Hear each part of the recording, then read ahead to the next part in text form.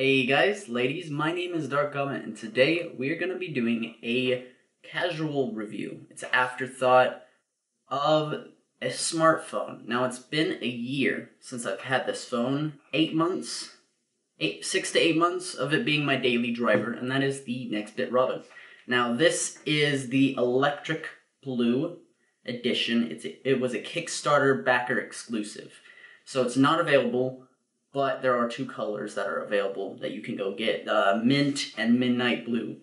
So i've been a supporter and i've had this phone for a year and i was originally going to do a review when i first got it but life happened and here i am. So what do i think of this phone?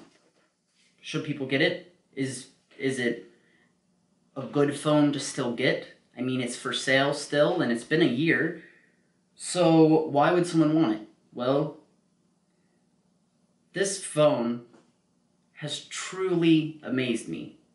Specs aside, all other, what makes this phone unique? The fact that it's cloud based.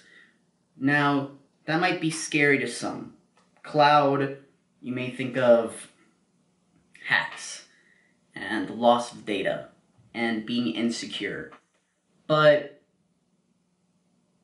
that's only a few cases. And most of the time it's fixed. And really, they only go after the people who are really big or famous. So, if I was you, have your top secret stuff and the photos that you don't want to share with other people, maybe somewhere else, not on the cloud. But everything else, the cloud is really useful. It allows you to access it from anywhere you want, but it allows you to never lose your information. But Nextbit took a leap of faith. They wanted to make a cloud based phone, a phone that backs up dynamically. You never lose any of your stuff. Whether you root the phone, you factory reset it, you drop it in a toilet, you will not lose your data. It will have all your pictures backed up. It will have all your contacts backed up. It will have all of your app data, the apps that you had installed, better than Google Drive does. And it actually backs you up based on the latest or the the update that you were on. So if you're someone who's like, oh, I erase all my phone, get it back, now my phone is broken because of some updates from an app. No. This updates the up updates the version that you backed it up on. That you chose to back it up on. So if you didn't update it, Okay. If you hadn't updated it in a year, okay. If the app is no longer on the market, no big deal.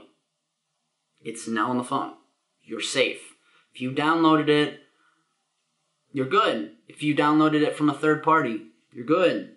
It doesn't have to be even on the Play Store. I find that incredible. Let's talk about when it runs out of storage. Don't we hate the message that says ran out of storage, out of storage, need to delete things, optimizing. Oh, it's terrible. This phone doesn't do that. Storage is limited. We live in a world where storage is limited and storage size has been growing. For the past 10 or 20 years, it has grown exponentially. But we're still limited on storage because things that we want to store on there have also grown exponentially. Videos were were they used to be half a gig or a gig. Now they're 50 gigs. They're they're 25, 50 gigs. That's what's on a Blu-ray disc. That's huge. Games. Games used to be I mean some of them used to be a few megabytes. Then they got to the point where they were half a gig. And those PC gamers out there are laughing because they're right now downloading games that are 5 gigs big. They're also downloading mods and DLCs. We live in a limited storage world.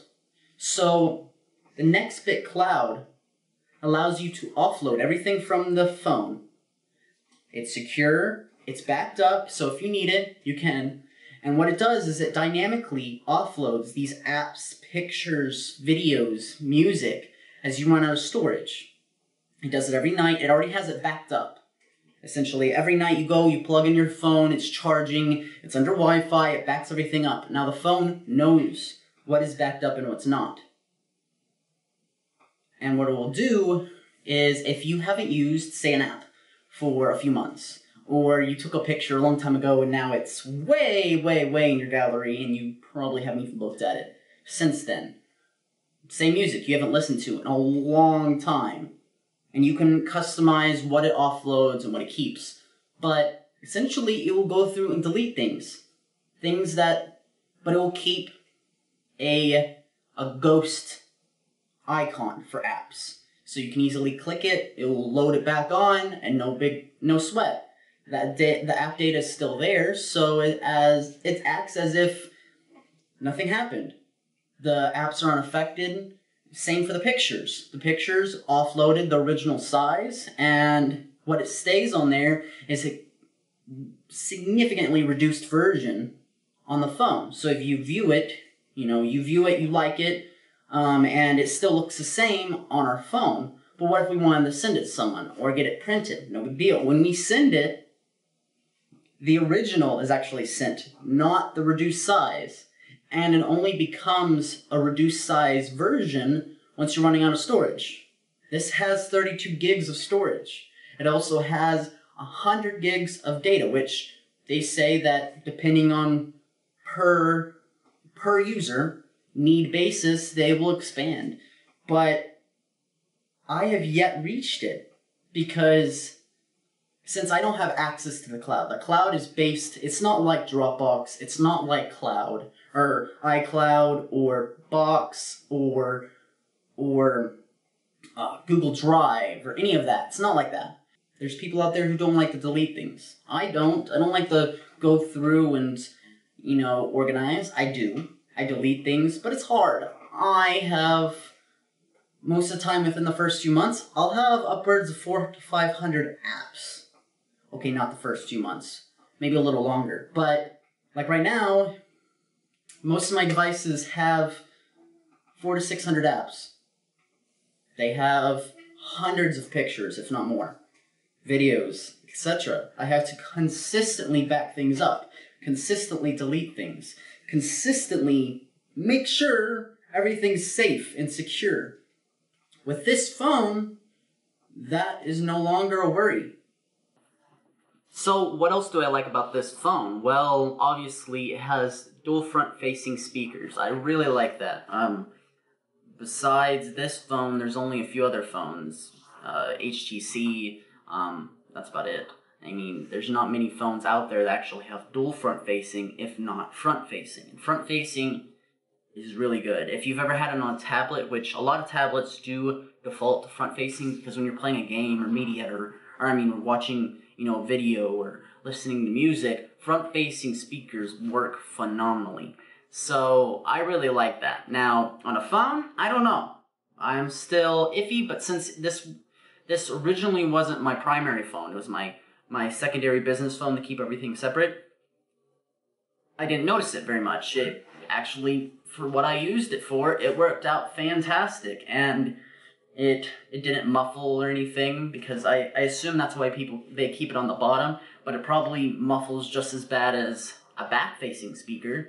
I mean, though that's terrible location. so the speakers are completely fine. Now they're not fantastic. They're not high audio quality. Um, they're not gonna sound, you know, high high def, hi-fi, but they work, and they're front facing, so you get more of the sound and you're more immersed, and it works. I liked it, and then also it has a the standard 13 megapixel.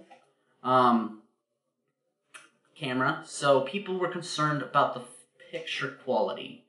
Um, now, I, I wasn't going to go over the specs, but I'm going to go over that spec. Um, camera. Uh, there was a lot of concern about camera quality, not only when it first shipped out.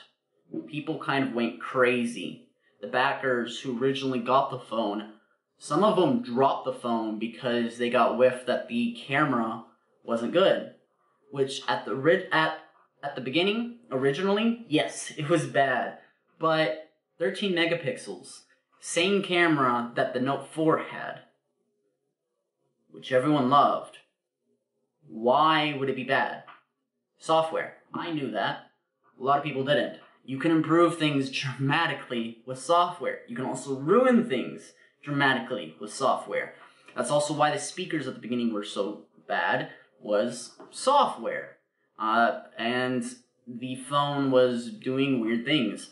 Um, so the the zoom was bad, uh, the picture quality was bad, the autofocus was bad, everything was bad. Then they updated it. After a few updates, now it actually works good, and I can show some pictures. If you go to my article, I left a link. I um, actually I personally didn't take any pictures. I was going to, but I forgot, and we were on vacation, and my mom uh, and sister both asked if they could borrow my phone to take pictures because they had lost their camera. I'm glad because they took some really good pictures, and they're not photographers at all. They're very casual. They have I bought them a camera or bought my mom a camera because um, she likes taking pictures, and my sister likes taking selfies. So I, I couldn't, you know, what's the use of buying a point shoot camera for that? You have your phone. Um, but they took some really good pictures. They took pictures of my family, they took pictures of the animals, they took pictures of scenery. I took one. Um, it was a very scenic shot at Devil's Den in Arkansas. Um, and when I was going back and looking at the pictures, I was like, wow, that's not bad. These are very good pictures. But then when I went back, because in the back of my head, I was like, I thought they were bad. These are really good. But then I looked at a few months prior to that. Ooh, they were bad. They were bad. I couldn't take pictures of like a dog. I was trying to take pictures of a dog or a room or a, you know, and it was bad. It was like, wow, that's like, you shouldn't even use that camera. You shouldn't even save the picture. It was bad, but then they fixed it. So, and that's how most things are. Things aren't perfect, especially at the beginning. And this was a, a new smartphone company, and they were trying something new. And obviously, what was new for them, not only the customer, but new for them, was they were designing a smartphone. This is their first smartphone. So, they've done well. Now, it's not perfect. Really, it's not. It has flaws, but for the price you pay, and for what it offers, this is a really good phone. It met my expectations. It went above and exceeded my expectations. This was a really good phone. I still use it. It is my daily driver. My phone is still broken because I have this phone, and so I haven't had the motivation to go get a phone or been also waiting for my upgrade. But this is a really good phone. Yeah, yeah, it overheats. Yeah, the, the speaker quality, you know, at the beginning wasn't perfect, and even now it's, eh. You know, the camera quality, I mean, it's good enough to take vacation photos, take casual pictures, but everything else, this is a really good phone. It's a phone that deserves at least some attention, some time. If you go on their website, you can order their phone. I think they sell through Amazon. You should look at it, especially if you're interested in buying either another phone, you need to upgrade, say your phone broke, or you're just wanting a secondary phone, like me, a business phone or a phone for for fun, and the other phone is for school or for work or for whatever. Look into this phone. This phone is really good for the money, and it has lasted for a year. That's hard to say for a lot of phones that you spend. You know, that's not a flagship phone. You know, most of the flagship phones that you see yeah, those last for a year, two years, three years. Some people have their phones for four or five years or longer, and they but it was a flagship phone originally. This was not a flagship phone. It was not flagship price. It was not a flagship processor or RAM or screen or speaker or camera. It was far from it. and still is. But for the price, the value is there. What they offer is unique. Nextbit, you did a good job. And if you want to know more, I wrote an article about it and my experience. But let me know. Tell me tell me what you think. And tell me if you have the phone, what kind of things you don't like or like, and uh, leave some suggestions on maybe some tips and tricks of this phone. Nextbit, Robin, check them out.